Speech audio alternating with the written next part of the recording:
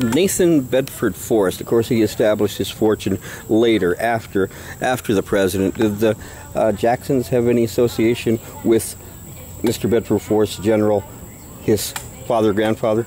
None of that Not stuff. that I know of. Okay. That Um, the gentleman on the horse ride described the production before the cotton gin. It's like a pound a day, picking it out. In the movie, I believe, 11 Years a Slave or 14 Years a Slave, uh, that 12. 12. Uh, the punishment for not getting the production done every day was fierce on the tree, the whip.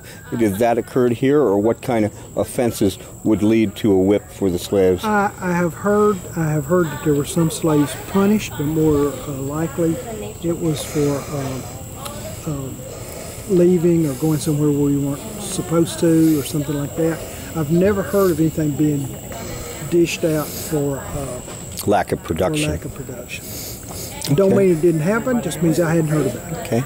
Now, of course, being as prominent as he was, you would have visitors coming here, and he would hold court, as it were.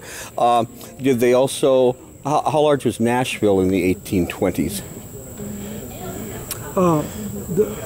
It would have been around 15,000 people. 15,000.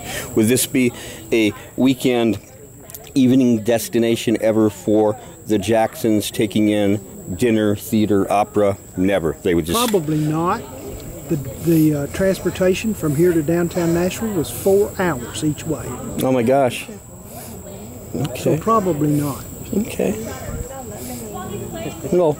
And we were talking on September 1st, uh, 2018, with Mr. Carter Harris, historic interpreter at the Hermitage, Nashville, Tennessee. And the time central is 145 And you gave the French pronunciation. of what? Hermitage instead of Hermitage. Oh, yeah. We I, all I, call it Hermitage. oh, yeah, I've been reading a lot of Napoleon lately. There you go. Thank you, sir. Yes, sir.